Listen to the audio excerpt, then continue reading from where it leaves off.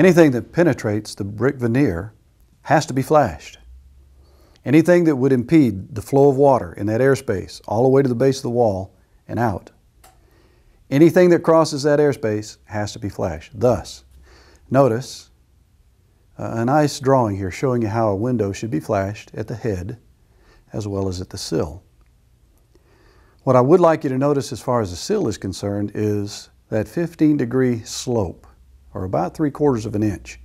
It's very important. You'd be surprised how much water hits a window and cascades down its face and onto that windowsill. And if it's practically level, and obviously if it were leaning back toward the house, listing that way, that would be a problem. So slope on that windowsill is very important. I'd like you to notice how this process goes together from the base flashing all the way to the top of the window. With this slide that you're looking at, at the base you have a, a recessed brick ledge. And the first thing you'd do as a mason is come and put on your base flashing. Then your paper would start up the wall. And uh, as the paper is applied, each layer would lap about two inches according to code over the one under it so that it shingles and the water can run to the base and uh, exit the wall.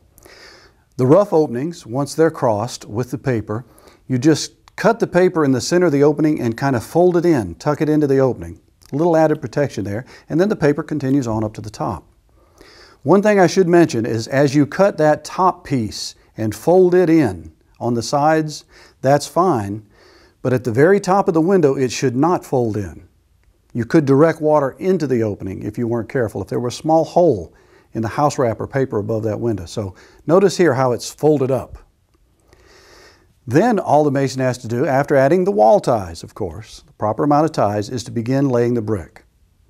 Obviously, he'd stop at sill height, put in a piece of flashing there. And notice how it extends past the window a bit on each side, and there's even a small dam turned up in the head joints on each side of that opening, and then the sill is placed. Now the brickwork can be carried up to the next benchmark, if you will, uh, the top of the window.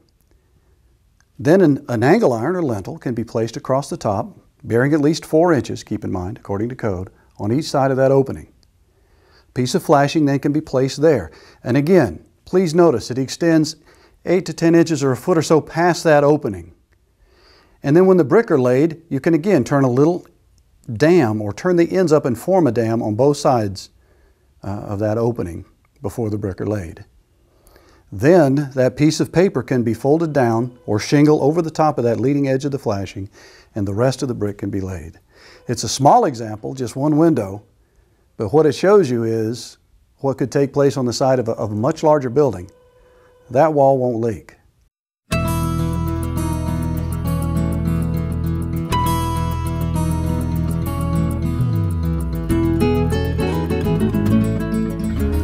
Seems as though one of the areas in a building that leaks the most often is the window head. And really it shouldn't, it's such a simple application. The installation isn't hard, so what I thought I'd like you to see is the components first, and then how easy it is to make a little end dam in the flashing across the head of this window. As you see, one side's been completed. We've left this area exposed.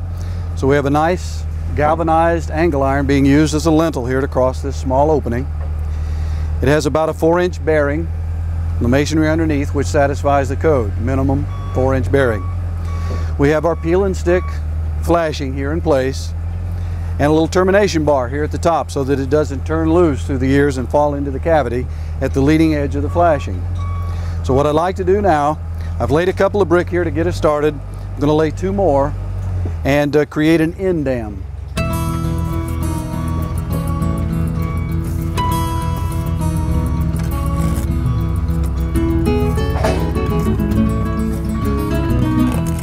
We do have a rope wick here I might draw your attention to as a weeping device at the head of the window.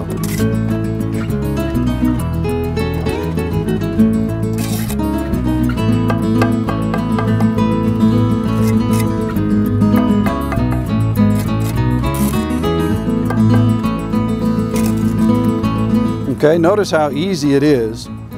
And I should also point out that the piece of flashing has been allowed not to terminate here close by the window, so somehow the water could get over and then run down the jamb. But we've allowed the piece of flashing to extend about eight inches past the face of the window. So to form the dam, it's just a matter of turning up the leading edge into the head joint, spreading the mortar on the next brick,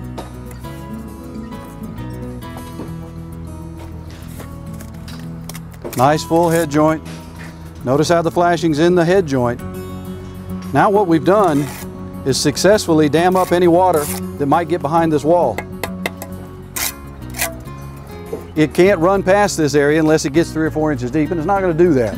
So what we've done effectively is dam up both sides of the flashing at the window head, and we're making the rope wicks do their job in getting any moisture that might get in here at the window head out. Believe me, without this piece of flashing, I'll get a call because this is where it seems to leak most often. One other thing too I'd like you to notice that above this window, the flashing that we referred to in our flashing section is a thin sheet of copper impregnated in asphalt. That was just tucked above the bond beam that crosses that window right into the wall. And as it hangs out here, once the brick are laid and the angle iron or lintel is placed across that opening, it'll be placed through the wall with a couple of weep holes above it. So again, a very nice way to keep water out of the head of the window.